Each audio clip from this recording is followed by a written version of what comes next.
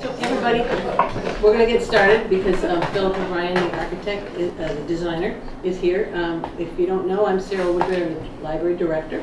And um, we're here tonight with members of the um, uh, Space Needs Planning Committee. It has a much longer uh, name, um, but that's what we call it. And with the library trustees and with our owner's project manager, Daniel Pilata, and our designer, Philip O'Brien. So we don't have a program set up as we did in the last meeting. I think we're here to answer questions. um, And I think as we begin, the first question is going to probably lead to more questions and more information. But um, uh, Daniel's going to start Yeah, giving a little overview. Yeah. W- Did everybody come to the first one? No, okay, well, I want to give you an overview then, that's all right. And If you've heard this before, sit back and enjoy. Um, You're, the, the town of Deerfield's in a very unique opportunity. You have the ability to take advantage of a significant portion of outside funding from the Commonwealth of Massachusetts. Uh, The Massachusetts Board of Library Commissioners uh, began a grant program in 1986, and they run the grant program maybe eight to 10 years. And that cycle is, uh, that cycle, uh, grant application comes up January 15th of 2017. So the committee, knowing that the grant cycle was coming up, the town correctly started the planning process of getting to that point. The library director created what's called the library building plan, uh, which is basically space needs, uh, but not, not design or anything, but children should have X, young adults should have Y, and adults should have Z, technology should have this, we have X number of computers. You list everything that you have existing, everything that you think you need, and there's a formulas that a town of Deerfield should have that gets mashed, mashed in together, and a back and forth occurs between the state uh, Board of Library Commissioners and your librarian, and your Board of Trustees to get the, the, the library plan approved. That was approved about two years ago, a year and a half ago? Um, uh, It was approved in February, a year ago. Yeah, a year and a half ago. So, um, after that's approved, you have the right to start doing what's called a planning uh, grant. And in, in the case of Deerfield, you received a planning grant, uh, and you matched your, your portion of the planning grant. You're, you're- you're eligible for fifty thousand, and you have to put up twenty-five thousand. And the trustees put up twenty-five thousand through the trustees fund. There's no appropriation at town meeting. They're doing this all on their own to take advantage of the fifty thousand dollar planning grant. What you're about to see from Phil's wonderful design is the fruits of the labor of your townspeople that sit on this committee coming week after week, uh, making sure that the building committee is being followed, making sure that the, the, architecture of the uh, final product is something that would, would work in Deerfield. And you, you're about to see that, and we're gonna walk you through the building in just a second. To build the library is a little bit different. Um, We apply for the grant in January. Um, We have to vote three times to get the grant. Uh, The first two votes are coming on June 6th, uh, and they are a a vote to basically accept the design as it is. Now, obviously, it's not a fully developed design, it will change, but it's, to- it's the concept of the design you're voting on. And the second vote is to accept the grant from the MBLC. Now, accepting the grant doesn't mean that they're gonna start shipping, shipping money up, the- down the- the, the turnpike up to, uh, up 91. Uh, it- What it means is that you're eligible to receive the grant once you've approved your portion of the monies. And that's the third vote. So the third vote that the town of Deerfield will do is an appropriation for the amount of monies necessary to fill the gap between the grant from the Commonwealth and the total project budget cost. Uh, We expect that the Commonwealth will give somewhere around fifty percent, um, maybe a little more, maybe a little less when, when it all shakes out. Uh, But that'll all occur as we're going through the grant process. So, first two votes that are Monday night uh, don't really mean anything, except that the town supports receiving the grant and that the town likes the idea of the expanded library, and uh, that's what we're going to be voting on on Monday night. If the town doesn't like the cost, or the town doesn't like uh, the particulars that will come out as we go further down the line, then the appropriation is, is, will be the, the, the, the- where, where the brakes will be put on. And if you, you, you don't do the third vote, the first two votes are really meaningless. So the first two votes, um, we want to do, uh, and get them done with and put them in our grant application. Uh, the third vote's the one that, uh, really counts, uh, cause it's, it's, it's your money, uh, and it's your money to match what the state's gonna be giving you, so. With that being said, I didn't say anything wrong, did I, Phil? That sounds great. That sounded great? So, uh, with that being said, Phil's gonna walk you through the design, and we're gonna stick around and answer any questions you have and try to help you understand what it is that uh, the town's, uh, the the direction that the library is gonna be going in. Thanks, Dan. So, Do you want to hold anything up? No, no, I'm all right. Good. There, uh, these things are all right, I think. I can pick them up if I need to. My name is Phil O'Brien, Johnson Roberts Associates, that's us right down there. Um, We're, we're architects, we're in Somerville, Massachusetts. We, um, uh, we kind of focus on the design of public libraries, and so we've done lots of them. Um, And I'm happy to go into that a little bit more if you want to. Um, But You, you should tell that you're thirty-four for thirty-four. yeah, I think it's 36 for 36, but who's counting? It was thirty-four for thirty-four when we started, it's not too bad. So they've, they've got thirty-six towns grants, uh, they've applied for thirty-six and they've received thirty-six. So we think we hired the best architect to do a library. Well, thanks. Um, So, I'm, what I'm gonna walk you through is, is the design that, uh, that the library and, and and you all, by extension, would like to submit for a grant. Um, The Board of Library Commissioners, the MBLC, uh, requires that you do drawings to the level of schematic design, and that's pretty much what's represented here. Schematic design is kind of what it sounds like. It's a, it's a scheme. Twenty years ago, I might have done these drawings by hand, um, rather than uh, strapped down with a, um, with a T-square. Um, and so they look finished, but they really represent an idea. And this is one way to solve the, the, the problem uh, represented in the program that the library put together before we were hired.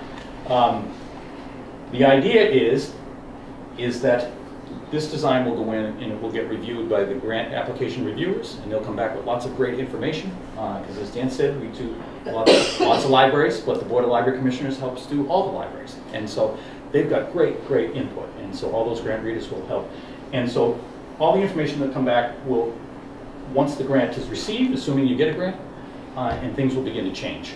Um, So we're still at flux. That's one of the reasons we're having this meeting, is to let you all know that this is one way to kind of uh, meet, meet the requirements of your program, but it's still in flux, and so we'd love to hear from you if you have any uh, ideas. Um, I- I'm gonna interrupt you for one second. Yeah, And this is important. So when you get your grant and they come back and they say you've got your grant and it's based on A, B, C, D, and E, we still have to do A, B, C, D, and E. But E might now be over here and not over here. So we still have to follow the, the space requirements in the grant. that's right. All right, so it's, this doesn't give, this isn't one of these bait and switches where, ah, we got the library vote, now let's make it bigger, or let's make it, you know, a glass circle, or something that's, you know, really bizarre. That can't happen. So what'll happen is, we'll be, when he's talking about tugging and pushing, we're, we're talking about tugging and pushing, but keeping the same space sizes, so that the, the end use is similar to what was approved. Yeah, they may suggest that the desk may be better uh, slid up five feet in that direction. Those are the kind of things. that- Susan, would it make a difference if one of the shades, so you don't have back?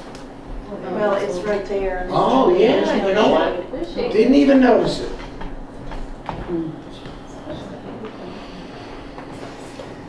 Maybe these two are, you know. I think it's the filled. I think it's the light. Yeah, I can't, can't do it anymore. It's at the top. It's Yeah. the top.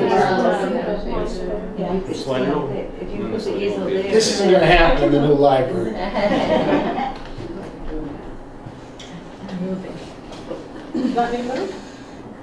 Does that work? No, keep going over. Keep, keep going. Don't hold it. There. Does that work? I am I am happy to do that. Good job.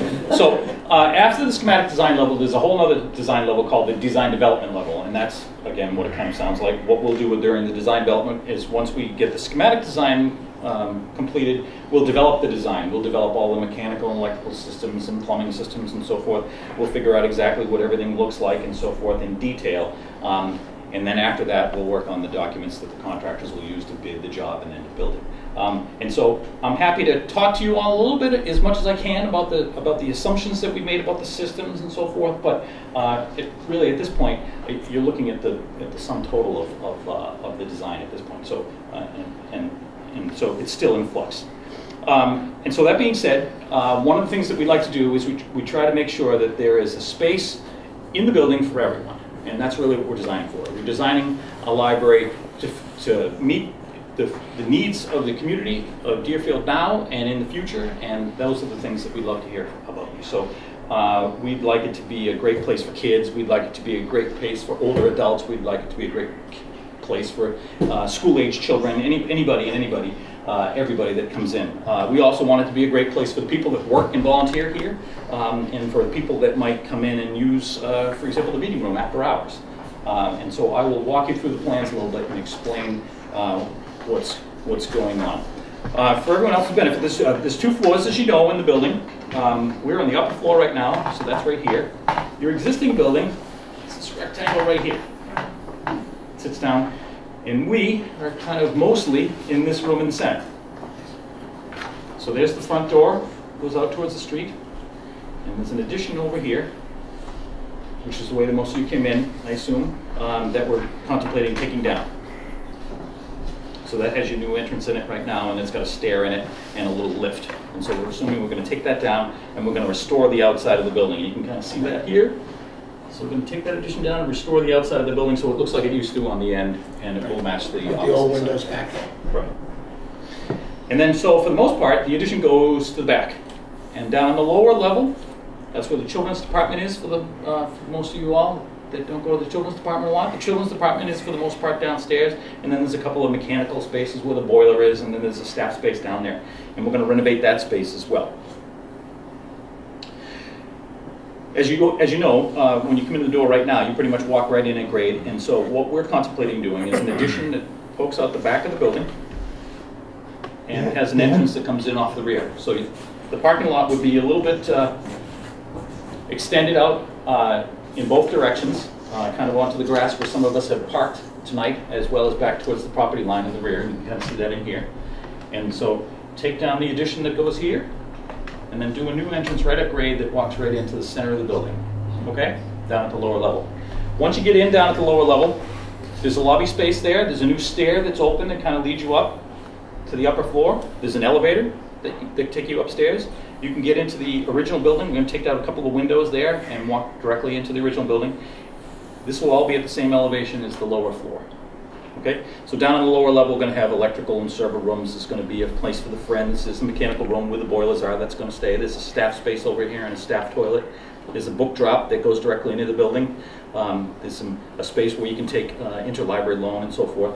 Uh, and then there's an inside door. So there's a vestibule that's built into the front of the building. When you come into the vestibule, you can step right through during the day, through the second set of doors and into the lobby. And in the nighttime, we can lock down that set of doors right there.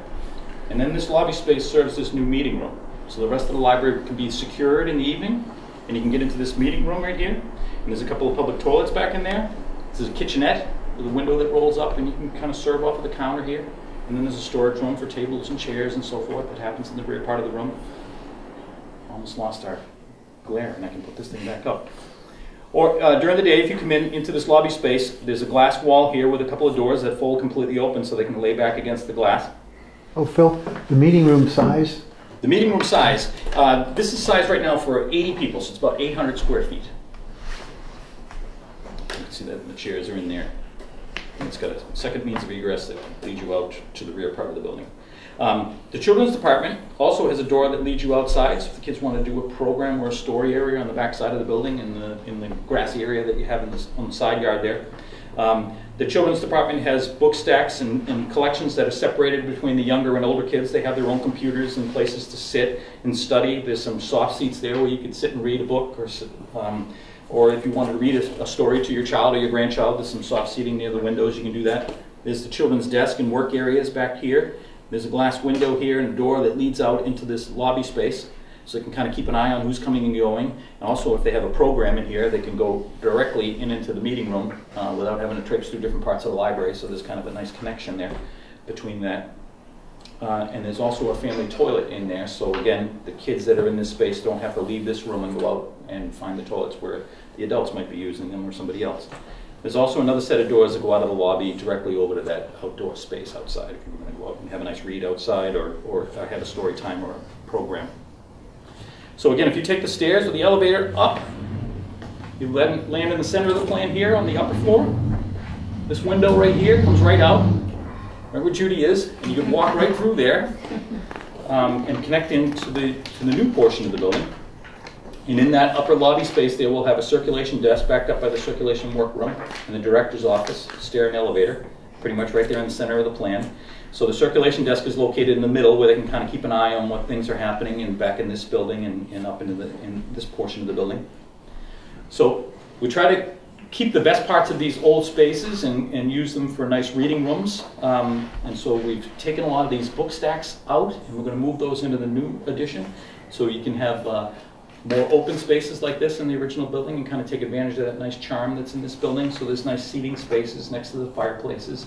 Um, and we're going to maintain the shelving around the perimeter so you can still have something nice to read in these areas. There's some computers in here and some audio-visual materials. We're actually going to close down what's now the teens department, which is these two little closets here. And we're going to restore those into storage closets, put the doors back. Guess we still have the doors in the basement, isn't that right? Put those back. And then um, there's actually going to be a short flight of stairs that will take you up into the larger portion of the uh, of this upper floor addition. And the reason is just because um, your floor-to-floor height between you in your existing building now is kind of tight. And in order to get all the ductwork and everything in there, we really like to have a little bit more space, but we're trying to make a, a good connection between your new and your older building. And so it's going to step up right here. Um, but if you know that's where you're headed when you get on the elevator, there's another door that comes directly out onto this level so that you don't have to make your way up the steps. Or you can just step onto the elevator here and go up three or four feet and get off on the other side. So it, it works in either direction and it saves a lot more space than a ramp. So up on this, on, on this level, you'll find, um, it's just a difference of about three feet. You'll find um, the majority of the adult book collections are up here. So the fiction nonfiction collections are up here. The new books are located in low shelving, kind of right out in the front, similar to what you're kind of dealing with it in, in this room over here. Lots of low book shelving. We've got a couple of quiet study or tutoring rooms here with glass walls on them, so you can kind of keep an eye on what's going on there that you could reserve or use. We've got a kind of a small group activity room here where you might go in and you want to make something or or uh, work on a project together, and it's got some storage and so forth associated with. it. There's a couple of toilets on this floor as well. And then we have the teen room over here in the corner. And the teen room, again, is surrounded by a glass wall, and again, it has those double doors that fold back up against the glass, so you can kind of keep an eye on it. And the kids that are in there can kind of feel like they're in their own space, but you can also keep an eye on them directly from the circulation desk so they don't get themselves into trouble. And if it gets a little loud or rambunctious in there, you can close those doors down and keep the rest of the library quiet. Teens are gonna be teens. Mm-hmm. It's Teens- gotta be glass. y- Yeah. Gotta Make allowances for them. And so, and they have their own computers and study spaces and chairs that can hang their legs off the sides of them and everything like that. Pants halfway down. All right? And so this is an image of what you might see from the parking lot. And so you can see there's the original building there with the restored windows and brickwork. I think a lot of that's probably still there, but we're going to put these windows back in uh, and restore that portion of the elevation. And then there's the larger portion of the addition that's over in the rear there. Uh, And then there's that link kind of between the two that we're doing with glass. Um, And the idea is to try to keep that very transparent um, so that uh, we're trying to be a, we're trying to add on to this building without uh, overwhelming it in terms of its visual impact. And so we've kept, try to keep that nice and light by using glass there. And it's also going to glow in the evening when the lights are on and, and attract people to this point, let them know that this is where the, the entrance is because it's a little off the, off the beaten path from the front door. I think folks are used to coming in the side though, so I don't think it's going to be too much of a, of a big deal. And then you can see that the, uh, the design of the addition is, uh, doesn't really mimic what's on the original building, but is inspired by it. Complimentary. Complementary, thank you. Is it true, Phil, that code re- is going to prevent us from being able to use the main entrance as an entrance? As an entrance, the, uh, the handicap code says basically that all of your entrances that are accessible to the public need to be accessible to everyone, and that would mean either a lift or a ramp here. Um, so you can still use this door as an exit door, Um, But if you were going to invite the public to use it, you'd have to put a ramp or something on the front of the building. Um, We, we don't think you're going to get a lot of traffic in that door. I think the majority of your folks are going to come right in that side entrance there. Um, I don't know that you get a lot of traffic in that door now.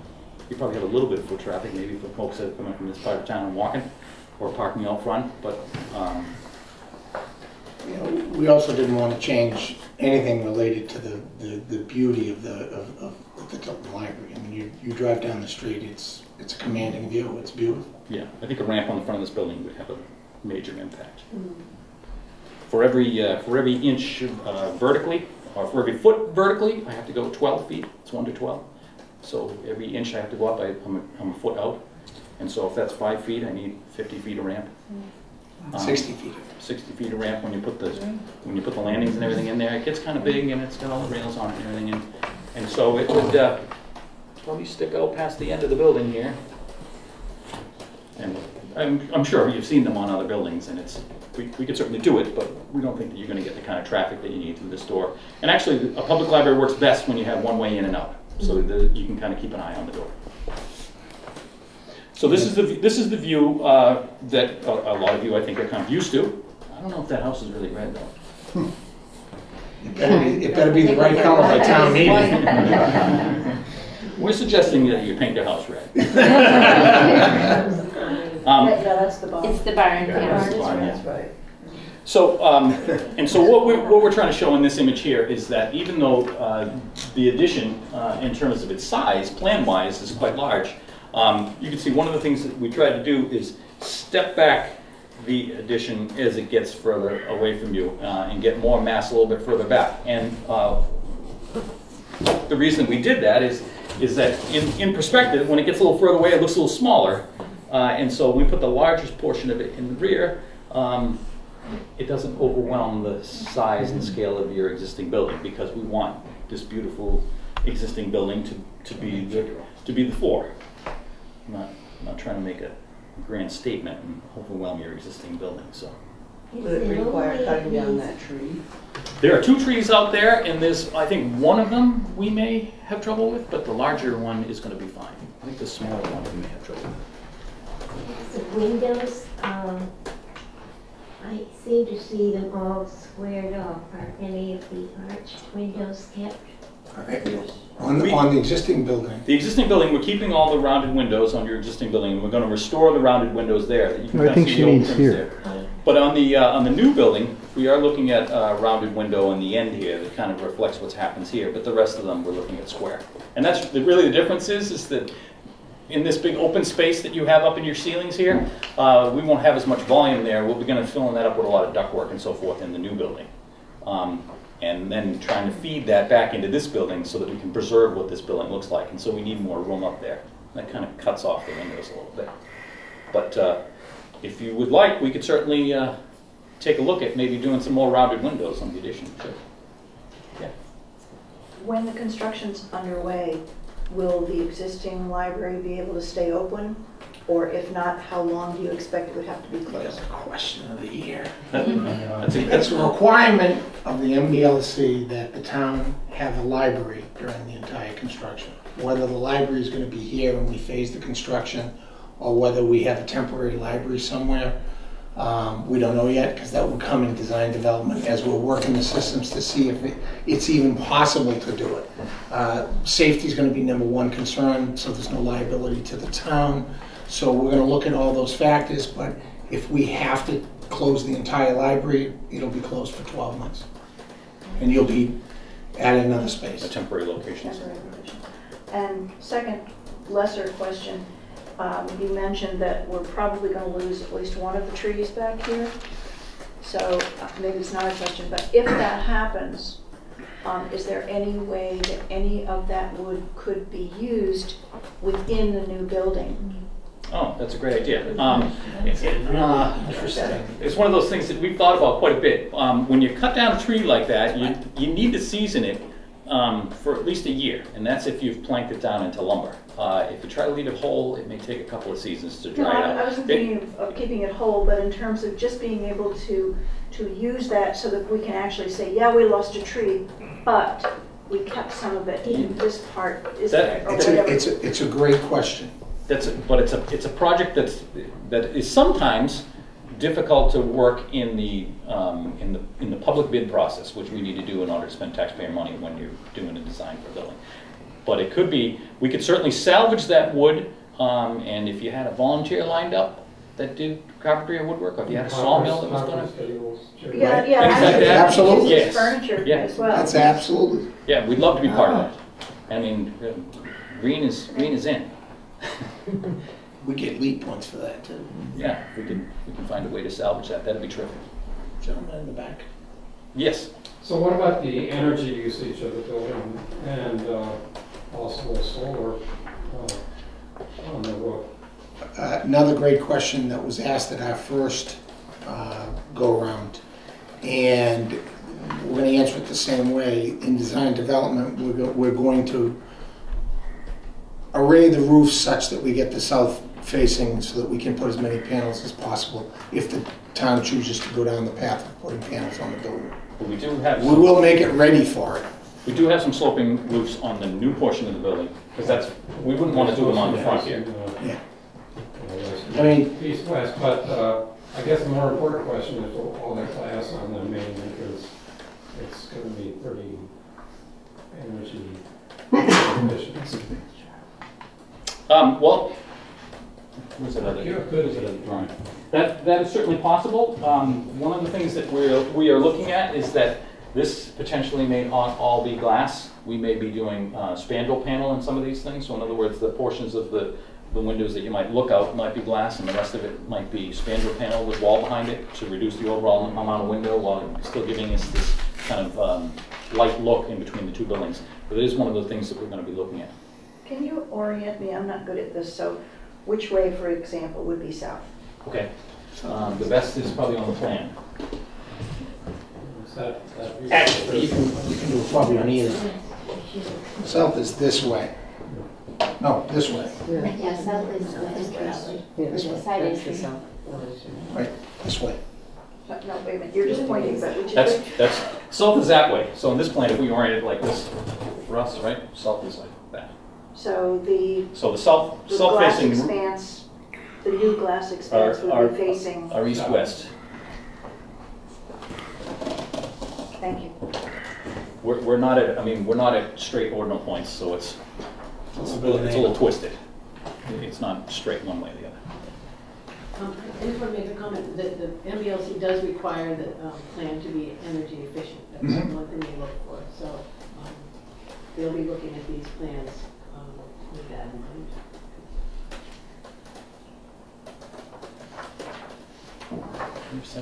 Any other questions? Phil, Yeah, I want to say something a- a- again about the windows. If you, put- if you could put up the, yeah, put that up. You know, the current building on top of the um, windows has the, um, the, the, the marble with the name of a writer, Mhm. Right. famous author. And um, some of us have noticed that there, all of those authors, of course, are men. Um, so we're hoping that on the new building, we're going to be able to put up some panels of those. Um, this would be like a naming thing, you know, someone wants to give some money, and you know, we would put up um, Emily Dickinson or uh, Edith Wharton. What if they don't give money for men? Well, then we'll find some more of those. When, I tell you what, when we have the same number of women as we have men, then, then we can start tossing a coin. But anyway, that's another thing we thought of in terms of, of the windows on the new, the new additions. certainly. And that, that's There's another. cer- There's certainly opportunities. That's to do another that. piece of, when, when, when the piece comes off of the side over there and the old side is restored, the, that, that piece will be restored too, that's on that side with the, with the names. I don't even know what the names are over there right now. Does anyone, does anyone know what the names are there? I don't know. We do have, um, Yeah, Longfellow, Longfellow is one of them. I can find out in about five seconds. Longfellow's Berry? Whitman, Longfellow's buried? No, who, who's on the two of them? This- No Longfellow.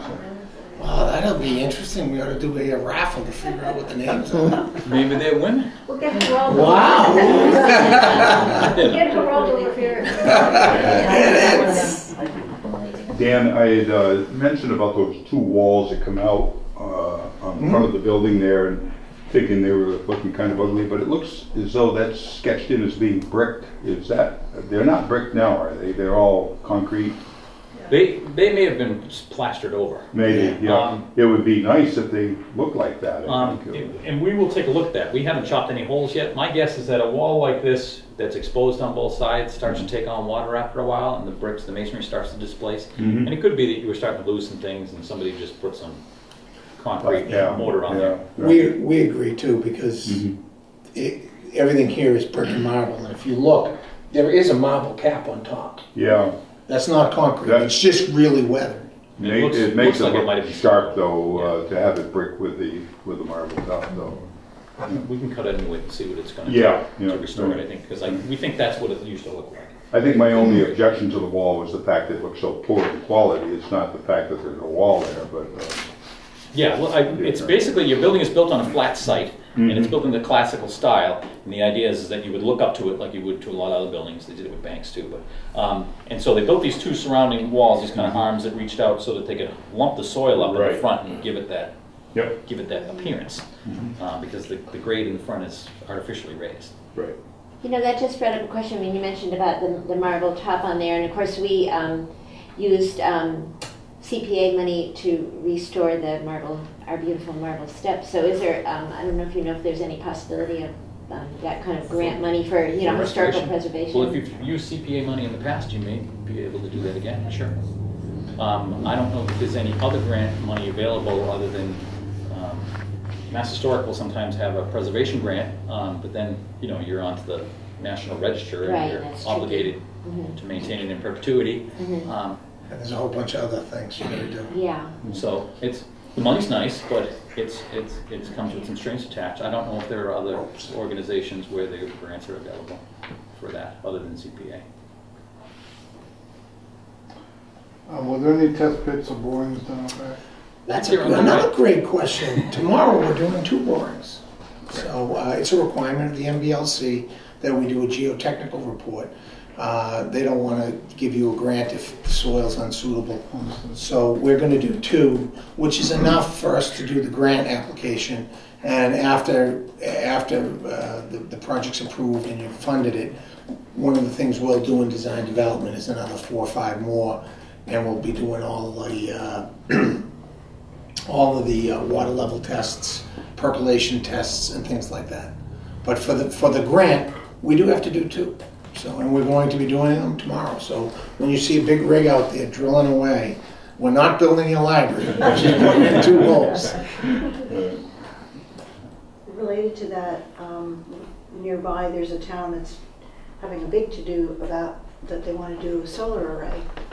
But apparently it's on a, possibly on a site that is a Native American burial site. Mhm. Do we know the history of, of what's in there? And is there any possibility we would run into any problems that way? Does some kind of review have to happen? I- We don't, we don't know the see history of it. Yeah, we don't. Um, Usually there's a natural heritage hit that you get when you're, you're doing your site. And uh, we're not aware of any hits in this immediate area. If there was one where the direct library is, it's probably already been disturbed pretty well. Yeah, Massacre, the Bloody Brook Massacre happened. Yeah, Bloody Brook. Right across the street. The what was across the The street? Bloody Brook, Bloody Brook Massacre. right across Oh, from the high sorry. school. There's a- Was hundred and twenty men or something were buried there? Yeah, it was three hundred yards this way of the monument, so it's about where the, from the library. My last, know where the my last project, we hit two Indians that were six hundred years old. Please tell me I'm not on another one of those, please, please, Well, please. well, that's. But we're that's looking, concern. it's a good question. Yes, uh, first, I'd just like to commend everybody uh, that was involved with this effort as far as the committee goes. I am a taxpayer, I do have some concerns about it, but uh, as far as what I'm seeing uh, and what's been put forth, it's been well thought out uh, for the most part. Uh, One, I was wondering if you had uh, estimate as far as what this building is going to cost? And that's the first question. I realize that there's a grant possibility of about fifty percent. Uh, second question is, is, or statement maybe, a little bit of both, is that, uh, the town's struggling with their senior center also. And I'm wondering if during your efforts, that that senior center was brought up as far as maybe with a, a community room of 80 people, if that was brought up as a possible situation where we could incorporate that senior center into the uh, building and save the town some money, tax money, as far as a multi-purpose use area. And I don't know the answer to those, so I'm I'm asking more, because I only can do two at a time. Right, so, but I do have some more follow-up. All right. Dan, Huh? Dan, can I do the second one? Uh, You, you are more than welcome to do the second one. You want to do it first? Sure. There you go. Um, So um, this was actually the first time when we went to the select board at our very first meeting. I'm on the planning committee. Right, Um, yeah. This was one of the questions. This was the question that was asked us then. Um, You know, is there any chance, because the issues around the senior center have been, been prevalent for a while. Um, And the answer is no, we did not do any of that in terms of our planning. And part of that is because the MBLC grant is very, very particular about how its money, its money has to be spent solely for a library. Um, So uh, if, if, if there were going to be a contiguous building for a library and senior center use, you'd have to have a whole separate planning committee, a whole separate grant application committee, a whole separate funding committee, um, and source of money for, for that. And then the, the, the- thing that you'd be thinking would be helpful is that you'd be able to join, you know, the electrical services or the, some of those services, but the MBLC won't let you do that. Um, so, um, it, it's, it's, it, it's very difficult to try to plan these joint, uh, projects if you're going for an MBLC grant. Um, and at the point where we, where we were, um, there was no sort of equivalent, um, uh, planning group working on uh, something like that for the senior center. I mean, I, th- I think we all in this town recognize that there's, you know, a, a really strong need for, for senior center, but, um, uh, and, and those, those needs are important and the town needs to, to think about those, those, those needs too. I think that, that the library will serve the seniors as it serves every, every age group and every part of, every, in the community. Um, and um, I, you know, I, I- I think that, that, that, that sort of when we were doing our needs assessment and understanding sort of what why the library doesn't doesn't work as well as it should be for a modern library now, it's this meeting is a perfect example of it. Is that the library is closed because you can't, you know, people couldn't come in and use the facilities, use the stacks while you're having a meeting like this. So the way the current library is right now, it's like every time the library is used, it's being used in a space that somebody else is using too. Um, and that's part of what we tried to do with the with the design um, was to create, uh, identify what these different spaces were that were needed, so that you can have at the same time people can be using the library at the same time that there's a community meeting or there's a uh, you know some sort of a function specifically geared towards seniors. Um, but it, it, you know, if we had more space, we could do that. We could there could be more programming for all sectors of the of the community, just the ki- kids as well as the seniors.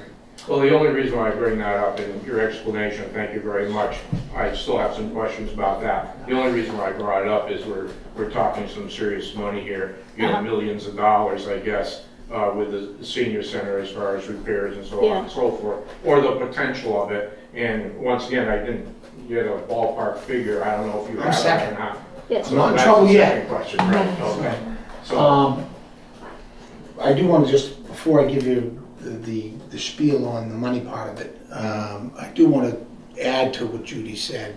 We're working in the town of Monterey, which is a, an art community in the Berkshires. And they've, their first round of design had this art space. Their meeting room was like three times the size of the population of the town. And the MBLC said, we're not designing an art gallery. Mhm. We appreciate that your library serves as an art gallery. You're doing the library. Right. So uh, that's that. With regard to the money end of this, uh, we are, we do have a draft estimate. Uh, The draft estimate has not been scrubbed yet. Uh, And when I say by scrubbed, I mean that we have to go over, it- it's a requirement of the OPM, it's our, our responsibility to go over the estimate that is uh, independent of the designer and the OPM. Uh, We both have to scrub it independently and then agree on the scrubbing. And we haven't got to that point yet. So I don't want to give a number that's going to run around to the town. You'll get the number in short order as soon as we know it. Uh, But if I give you a number today and then I have to come back and say, we scrubbed it, it's Yeah. eight hundred thousand more, I'll get hung at town meeting, tarred and feathered, and you guys will be digging me up in the backyard, so. No, I, I can appreciate. So that. I, I want to get it right, I want to get it right. Right. Uh, one of the great things about this program is that because we submit the grant in January, uh, although you're gonna do your two first votes on Monday night Right. that are non-committal, we do do the grant application in January. We're not gonna find out where we are on the grant list until July, but we have to have the numbers in in January. So you're gonna have six months to chew on the numbers, and then could be another year if you're not in the first round. So you're gonna have plenty of time to the just, just be prepared for Monday night, because there's, I think there's gonna be several people asking you as far as. No, and- and hopefully- You know, because it's awful difficult to vote on something, even though it's preliminary, No. doesn't, doesn't mean anything without knowing the, knowing the dollar amount, I'm just giving you a forewarning. No, we appreciate that, and we hopefully will be done by then, mm-hmm. eh, because we're not trying to pull the wool over anyone's Right, no, eyes. and I'm not But I saying- don't want to mislead the town of Deerfield. Right. You I know, we have, a appreciate we have a, an unbelievable success rate at town meeting, uh, both of us, because we tell the truth and we Mhm. give it the way it is. Yeah. you know, this is a public pro- construction project, it's Yeah. not gonna be cheap. Yeah. If it was done outside the public work, it would be forty to fifty percent less than whatever the number is. Right. So automatically, I'm, I'm, I'm dog meat at town meeting. Mhm. But once we have the ability to explain everything through, I think the residents are gonna see they're gonna get a pretty good deal with the grant. Right. I'm, I'm, I'm excited about how good Right. the deal you're gonna get. And I'm not, and I'm not questioning you, believe me. No, I as far appreciate your it, integrity but it's a great question. I wish I could tell I you do- today. right. It's, it's I do five understand where million, you're two hundred and sixty-two thousand, the town has to raise five million, two hundred and sixty-two thousand, eight hundred and twelve dollars, but I can't. Right. And I do understand all grants, there's, there's strings attached, so I do understand. But what's a little confusing is that when you go back to that meeting room, and we say we can't do that for seniors, but when you go back to that meeting room, and the design is to isolate the library off and leave that meeting room open for any given number of hours, that kind of makes me wonder as far as, well, if we can do that for other groups and have them meet in there, then even though it's grant money, then why can't we do that for seniors? I don't think anybody's It's, saying. eh, hold it, hold, that's a great question, I'm gonna answer it for you, Okay. right? The meeting room and the concept of the meeting room being a community room is what a library is today. And that's why it's a requirement. Right. Okay. Well, that's, It- it- it's, that's it- a, it- that's a new definition of what Right. a I library mean, is today. When If you this, look up what a library, the a of library is not a repository of it's books. different. It's Yeah. not a repository of Mhm. books. It's a programming space, and uh, it's a technolo- a technologically advanced building. When you, when you walk in this new Yeah, I library, understand. You know, Right. probably by the time you check out your first book, it might be to your phone. Yeah. All right, because some of the libraries are already doing it. Mhm. You can Yeah. walk up and get your book on your phone, and that's it. And in 18 days, it expires off your phone. You go to read a page, way to go, and you go back to the library. So that's the kind of things libraries are going down, and this is going to have all that. But the meeting room is a little different. They recognize the need of the, of the meeting room because they look at it as 100% program space when that library's open. And it will be. It'll be children's for a couple of hours. It'll be knitting for a couple of hours. It'll be all the programs that a library does. And then at nighttime, when it's not being used, the MBLC wants it to be used. What they won't do is pay for a senior center. They Yeah. won't pay for a fire station. They won't pay for, because they can't separate the funds Right. as to what's what. And, and, and it's the same with the M, MSBA has the same problem with schools. When you do an MSBA project, boom, you have to do a school. You can't combine them. Well, it's just unfortunate for the taxpayers of the town. I'm, in, I'm with you. If you can get that law changed, come call me. You know, it's, it's very unfortunate because I, once again, I just see where, for the town, for the taxpayers, we're doubling their costs, unfortunately.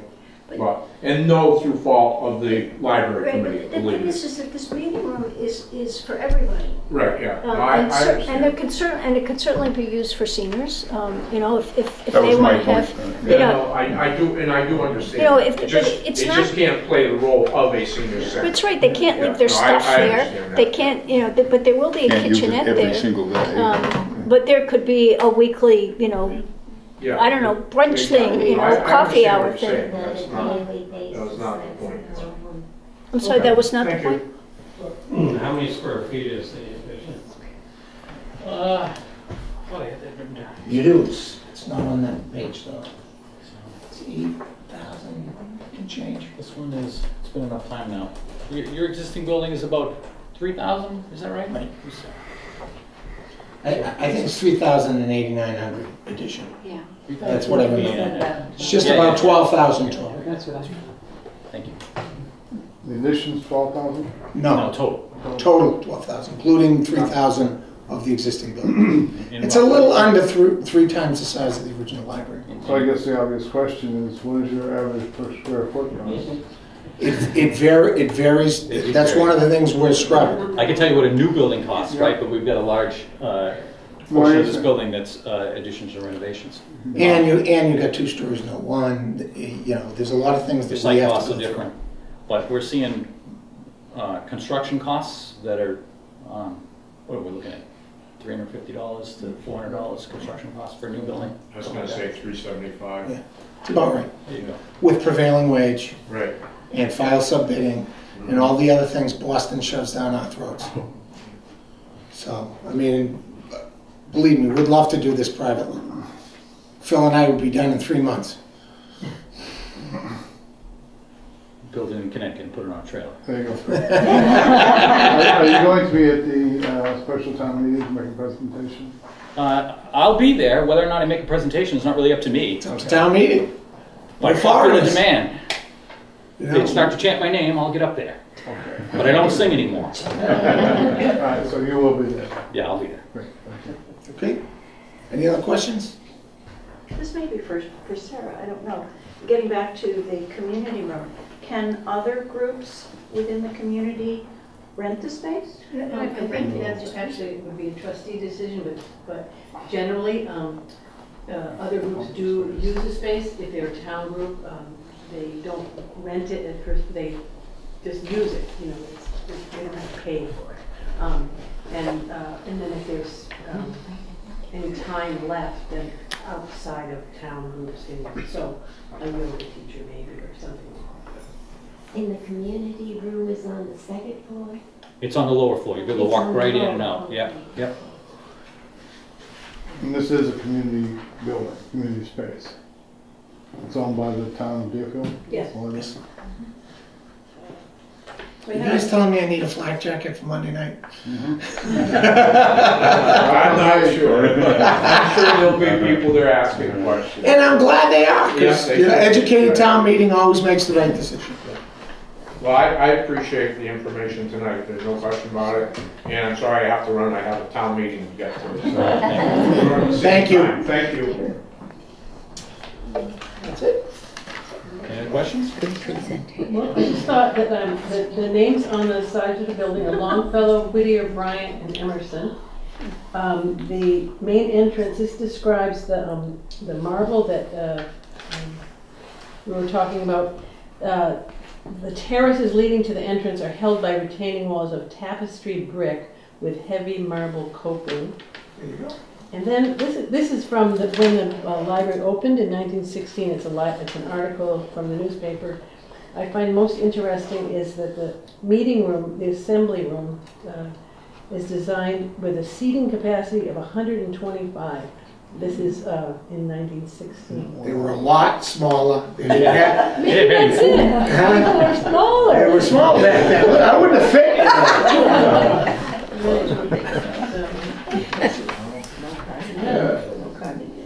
We'll see everyone Monday night. Hey, Thank you. We're gonna stick around if anybody has any other questions. No, it's not a